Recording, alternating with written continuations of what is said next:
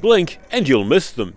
Electronic or e-scooters are speeding into the Dunedin market. A North East Valley distributor says demand is increasing and the city's geography isn't a problem for one of the models they supply. And then being in Dunedin, we've uh, got one now that can pretty well do most hills in Dunedin as well.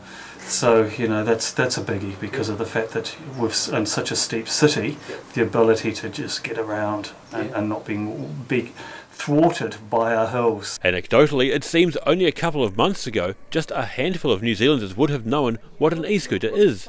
But recent publicity surrounding scooter sharing company Lime has changed all that. Parker says the company's proposed introduction into Dunedin will be good for business. I'm really interested in the integration of, of electric transport. So for me, it's about being able to put one of these in the back of a vehicle or put it on the bus, um, or the ability to, to go down the hill a couple of k's to the bus, get on it, and, and so on. E-scooters don't meet the New Zealand Transport Agency's definition of a motor vehicle, meaning they can be ridden on footpaths, roads and cycle lanes. Otago Daily Times reporter Tim Miller tried an e-scooter out recently, pushing the vehicle to its top speed of more than 25 kilometres an hour. Um, but what is the most surprising thing is they're quick, and how quick you can get up to the top speed.